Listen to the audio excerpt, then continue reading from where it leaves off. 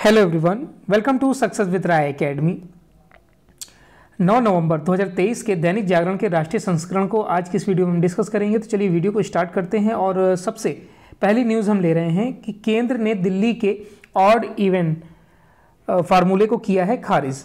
देखिए, वायु प्रदूषण की खतरनाक स्थिति से जूझ रही दिल्ली में राज्य सरकार की ओर से प्रस्तावित ऑड इवन फार्मूले को केंद्र सरकार ने खारिज कर दिया है। इसकी जगह कृत्रिम बारिश जैसे दूसरे विकल्पों को आजमाने का सुझाव दिया गया है। इसके साथ ही राज्यों को वायु प्रदूषण के खिलाफ छिड़ी इस मुहिम में पुलिस को उतारने के निर्देश दिए गए हैं ताकि पराली जलाने वाले लोगों सहित वायु प्रदूषण फैलाने वाले वाहनों के खिलाफ सख्ती से निपटा जा सके। केंद्र सरकार ने बुधवार को सुप्रीम कोर्ट के निर्देश पर कैबिनेट सचिव राजीव गौबा की अगुवाई में हुई उच्च स्तरीय बैठक में ये जवाब दिया है। बैठक में वन एवं पर्यावरण मंत्रालय की सचिव लीना नंदन, कृषि, ऊर्जा और शहरी विकास मंत्रालय के सचिवों के अतिरिक्त पंजाब, हरियाणा और उत्तर प्रदेश सहित सभी पड़ोसी राज्यों के मुख्य सचिवों व डीजीपी, प्रदूषण बोर्ड से जुड़े वरिष्ठ अधिकारी भी मौजूद थे।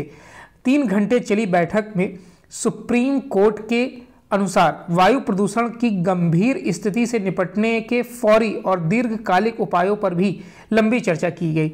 इस बीच, सभी राज्यों ने अपने अपने प्रस्ताव भी दिए हैं। दिल्ली ने इस दौरान ऑड इवन फार्मूले को लागू करने का प्रस्ताव रखा, जिसे कैबिनेट सचिव ने यह कहते हुए खारिज कर दिया कि यह उपयुक्त नहीं है। और एक्यूआई का अगर हम यहाँ पर रेटिंग देखें तो उसमें सबसे ज़्यादा ग्रेटर नोएडा में प्रदूषण है, फिर है फरीदाबाद में, उसके बाद नोएडा में, फिर गुरुग्राम में और फिर गाजियाबाद में। ग्रेटर नोएडा में चार सौ अठहत्तर है, जबकि होना चाहिए 400 400 खतरा, बेहद ही गंभीर माना जाता है। उसमें अगर प्लस मामला चल रहा है, तब तो स्थिति बहुत ही गंभीर है। नेक्स्ट न्यूज़ पर आते हैं। लोकपाल ने महुआ के खिलाफ सीबीआई जाँच का दिया आदेश। देखिए, भाजपा सांसद जो निशिकांत दुबे ने बुधवार को बताया कि लोकपाल ने तृणमूल कांग्रेस की सांसद महुआ मोहित्रा के कथित भ्रष्टाचार के संबंध में सीबीआई जाँच का आदेश दे दिया है। इस सिलसिले में मोहित्रा ने कहा कि सीबीआई को सबसे पहले अदानी समूह द्वारा कथित कोयला घोटाले की जाँच के लिए प्राथमिकी दर्ज करनी चाहिए। निशिकांत ने कुछ दिन पहले मोइत्रा पर उपहार लेकर कारोबारी दर्शन हीरा नंदानी के इशारे पर अदानी समूह और प्रधानमंत्री नरेंद्र मोदी को निशाना बनाने के लिए लोकसभा में सवाल पूछने का आरोप लगाया था। इस मामले पर लोकसभा की आचार समिति भी विचार कर रही है। मोइत्रा ने भी इस पर किसी तरह का आर्थिक लाभ प्राप्त करने के आरोप से इनकार कर दिया है। इसमें इंटरनेट मीडिया प्लेटफॉर्म पर दुबे ने एक्स पर एक पोस्ट में लिखा कि लोकपाल ने मेरी शिकायत पर राष्ट्रीय सुरक्षा को गिरवी रखकर भ्रष्टाचार करने की आरोपित सांसद महुआ मोइत्रा के विरुद्ध आज सीबीआई जाँच का आदेश दिया है। नेक्स्ट न्यूज़ पर आते हैं। उच्च शिक्षा में भारत ने चीन को पछाड़ा।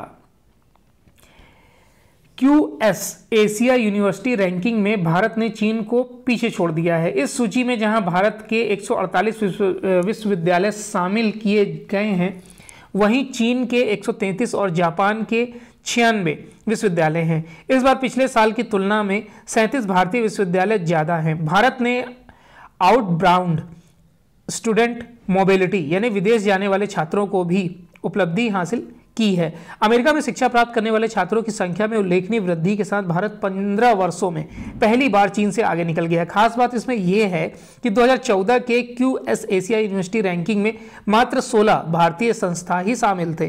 बुधवार को जारी रैंकिंग के मुताबिक इस सूची में सबसे ज़्यादा यूनिवर्सिटी भारत की हैं। म्यांमार, कंबोडिया, नेपाल ने पहली बार इस सूची में जगह पाई है।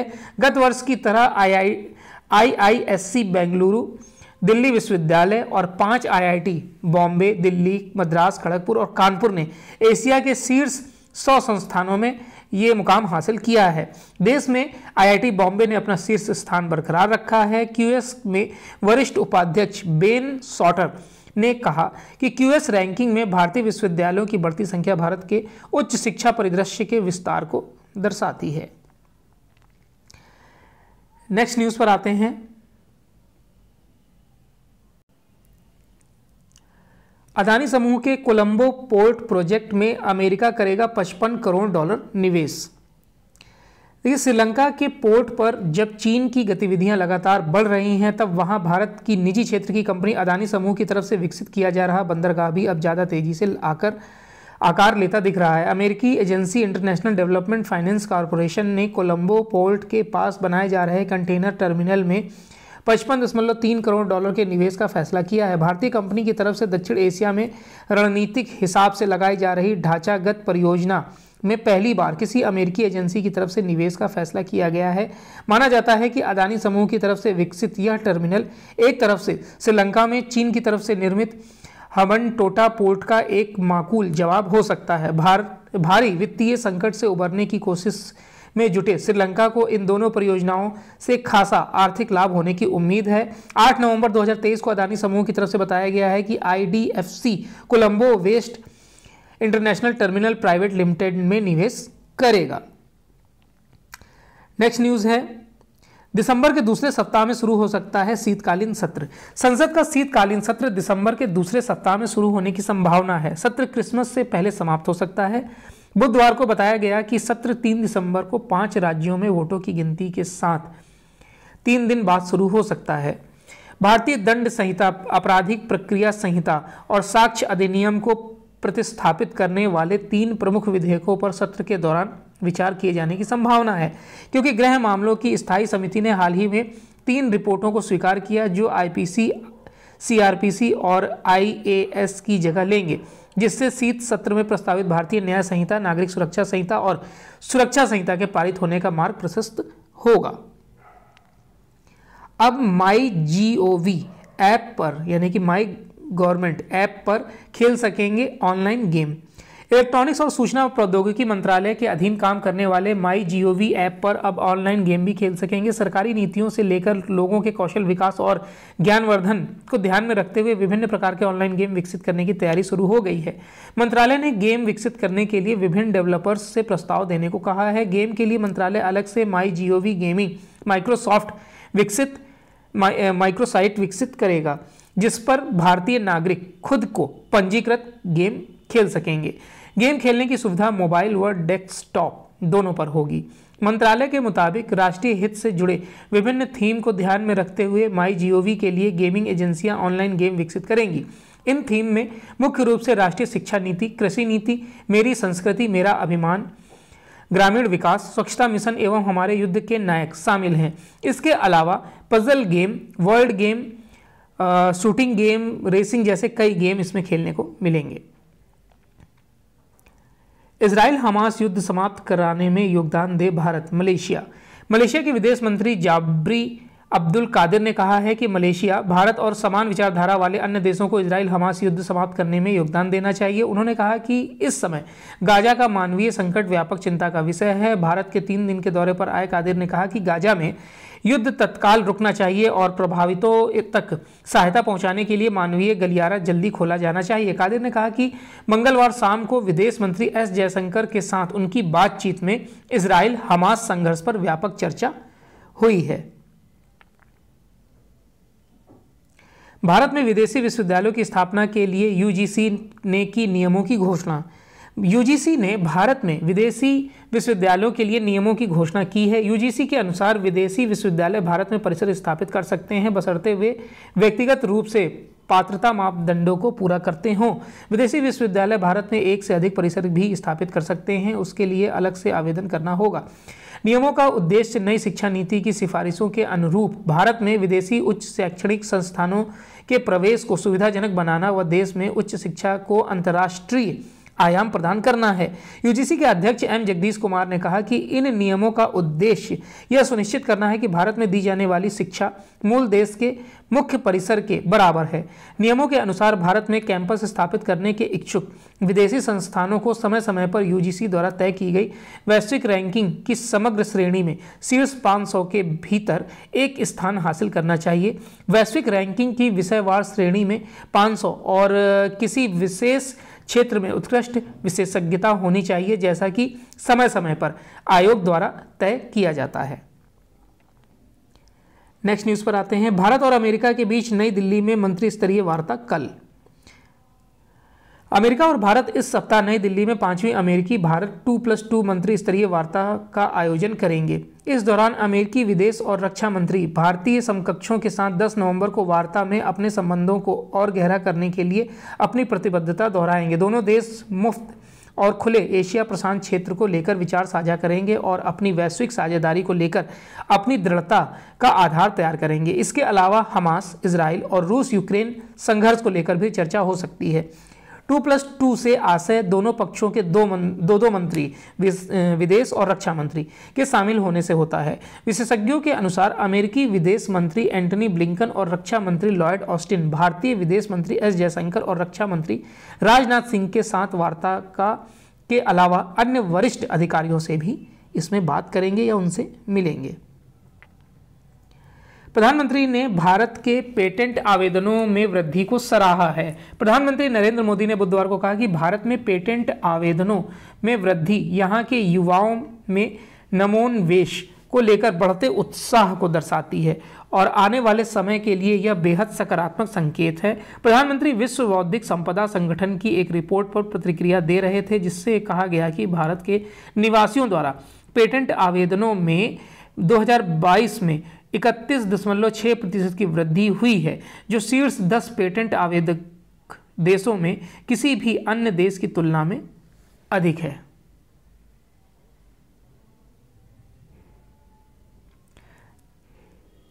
एयर इंडिया की ऐतिहासिक इमारत को खरीदेगी महाराष्ट्र सरकार। महाराष्ट्र सरकार 1600 करोड़ रुपए में अरब सागर के तट पर नरीमन पॉइंट पर स्थित एयर इंडिया की ऐतिहासिक इमारत को खरीदेगी। बुधवार को एक नाथ शिंदे की अध्यक्षता में हुई कैबिनेट बैठक में इस प्रस्ताव को मंजूरी दे दी गई है। नवंबर 2013 में एयर इंडिया इस इमारत को खाली कर अपना मुख्यालय नई दिल्ली ले गई थी। इस सरकार इस इमारत को जल्द से जल्द अपने कब्जे में लेना चाहती है और इसके लिए उसने एयर इंडिया के तमाम शुल्क को माफ़ करने का निर्णय लिया है। इस, यह इमारत महाराष्ट्र विधानसभा और मंत्रालय से मात्र 100 मीटर की दूरी पर स्थित है। इमारत का एक अनूठा पहल, पहलू यह है कि इसमें एक निजी लिफ्ट है जो नीचे से शीर्ष फ्लोर तक जाती है। इसे तत्कालीन एयर इंडिया चेयरमैन के लिए लगाया गया था। उस समय की बात है, जब विमानन कंपनी की कमान सरकार के पास थी। इमारत को खरीदने के बाद महाराष्ट्र सरकार को अपने ऑफिसों के लिए छियालीस हज़ार पाँच सौ वर्ग मीटर की जगह मिल जाएगी। 2012 में सचिवालय में आग लगने के बाद कई विभागों का कामकाज प्रभावित हो गया था। नेक्स्ट न्यूज़ पर आते हैं। नेक्स्ट न्यूज़ पर आते हैं कि सभी के वहन करने लायक हों बिजली की दरें। देखिए केंद्रीय बिजली मंत्री आर के सिंह ने कहा कि राज्य बिजली दरें तय करते समय इस बात का ध्यान रखें कि उसे सभी वहन कर सके। राज्यों के बिजली मंत्रियों की बैठक को संबोधित करते हुए सिंह ने कहा कि समय पर बिजली शुल्क तय करने का मतलब यह है कि हर वर्ष मार्च के अगले वित्त वर्ष के लिए बिजली की दरें तय हो जाएँ। बिजली सब्सिडी पर केंद्र सरकार का रुख स्पष्ट करते हुए आर के सिंह ने कहा कि राज्य जो चाहे सब्सिडी दे सकते हैं, लेकिन इसका भुगतान उन्हें करना होगा। बिजली मंत्री की बात चुनावी राज्यों में कितनी अमल में आएगी, यह तो बाद में पता चलेगा। समय पर बिजली की दरें तय नहीं हो रही हैं। केंद्र सरकार और राज्य सरकारों के बीच बिजली सेक्टर की दिशा और दशा को लेकर आयोजित इस बैठक में देश में बिजली की मांग को लेकर भी विस्तार से चर्चा हुई है। नेक्स्ट न्यूज़ है कि एसएनपी ने भारत की वृद्धि दर का अनुमान 6 प्रतिशत पर रखा है। S and P global rating ने रेटिंग्स ने बुधवार को कहा कि भारत की अर्थव्यवस्था की वृद्धि का मज़बूत रिकॉर्ड है और उसने चालू वित्त वर्ष में 6 प्रतिशत की विकास दर का अनुमान बरकरार रखा है। एस ने एशिया प्रशांत क्रेडिट आउटलुक 2024 में स्लोइंग ड्रैगन्स रेटिंग्स टाइगर शीर्षक वाली एक रिपोर्ट में कहा है कि अनुकूल जनसंख्यकीय और उत्पादकता वृद्धि सुधार के आवश्यक कारक हैं। वित्त वर्ष 2024-25 और 25-26 में वृद्धि दर 6.9 प्रतिशत रहेगी। रिपोर्ट में कहा गया है कि भारत की आर्थिक वृद्धि काफ़ी हद तक दिख रही है। अमेरिका स्थित रेटिंग एजेंसी के अनुसार वृद्धि बाज़ार के भरोसे व राजस्व सृजन का समर्थन करती है। उनका मानना है कि ब्याज दरों की स्थिति अगले कुछ साल में भारत के ऋण के रुख के लिए महत्वपूर्ण रहेगी।